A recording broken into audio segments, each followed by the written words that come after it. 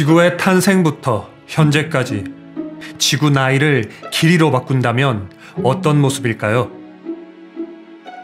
다시 말해, 지구 나이를 서울 부산 거리에 대응시킨다면 어떤 모습일까요?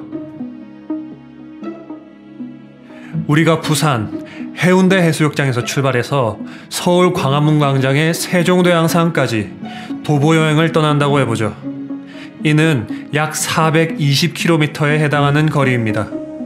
군대에서 행군하는 것처럼 하루 10시간 정도씩 매일 42km를 걷는다면 꼬박 열흘을 가야 하는 거리죠. 이 420km의 거리를 지구의 나이인 약 45억 년에 대응한다고 가정해 보겠습니다. 해운대 해수욕장은 지구의 탄생 지점이고 광화문 세종대왕상은 2020년 현재인 것이죠.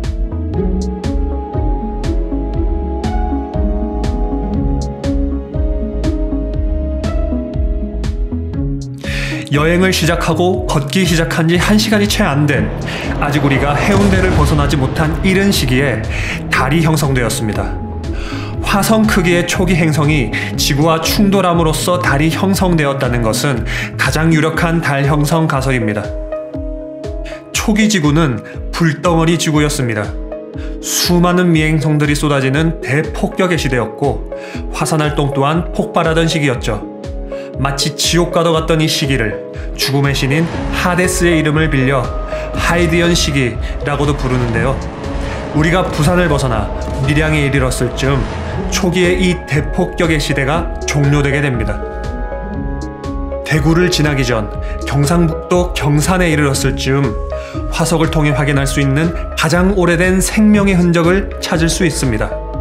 이 화석을 통해 우리는 아직은 원시적인 미생물의 형태에 불과하지만 당시에도 다양한 종의 생명이 존재했다는 것을 알 수 있고 최초의 생명체는 이보다 이전에 발생한 것이라 추측할 수 있습니다.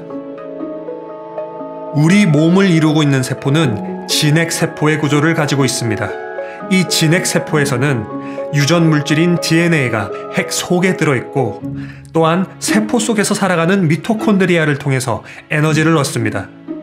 우리가 문경에 이르렀을 때 이러한 진핵세포로의 진화가 일어납니다.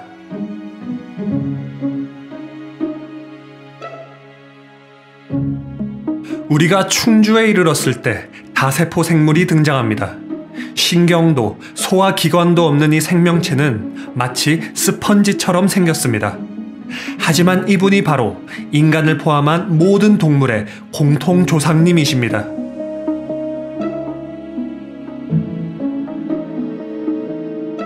우리가 경기도 용인에 들어설 즈음에야 생명종은 폭발하듯이 분화하기 시작합니다. 우리는 이 시기를 캄브리아 대폭발기라고도 부르며 이때서야 물고기 형태를 한 최초의 척추동물이 등장합니다. 우리가 경기도 성남을 지날 즈음에는 폐를 갖춘 척추동물이 오존층이 형성되어 강력한 자외선이 차단된 지상 세계로 기어 나오게 됩니다.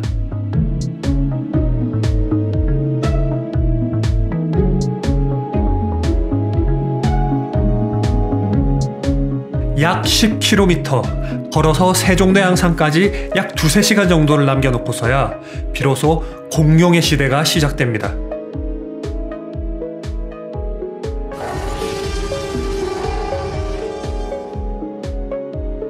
우리 인간은 당시 그늘 속에 숨어 지내는 들쥐의 모습이었는데요. 우리가 용산을 지날 즈음 그들은 드디어 영장류로 진화하게 됩니다.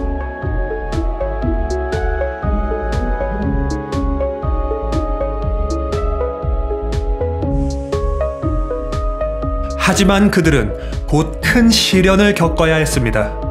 지구의 모든 생명체들은 멕시코 유카탄 반도에 떨어진 거대 운석이 결정적인 원인이 되어 큰 멸종의 시기를 겪게 되었습니다. 특히 이 시기에 공룡이 멸종하게 되죠. 지구상 모든 생명에게 이는 큰 시련이었지만 공룡이 없는 세상에서 포유류들은 번성할 수 있었습니다.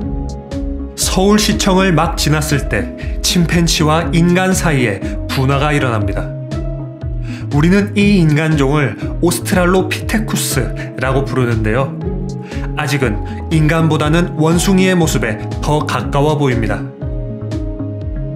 우리는 해운대에서부터 시작하여 전체 여정의 99.9% 정도를 마쳤습니다. 그렇게 0.1%도 남지 않은 이때, 즉 광화문 광장에 들어섰을 때 드디어 호모족이 등장하게 됩니다.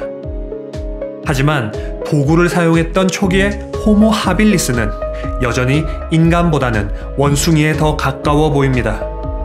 또한 이들은 성인이 되어도 100cm가량밖에 안 되는 너무나 왜소하여 별 볼 일 없어 보이는 그런 존재입니다.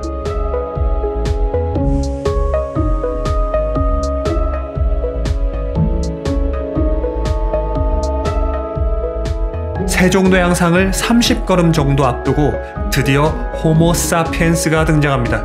이들은 아프리카의 동부지방에서 등장했는데요. 목적지를 10걸음 앞둔 시점에서야 아프리카를 탈출하여 전 세계로 퍼지게 됩니다.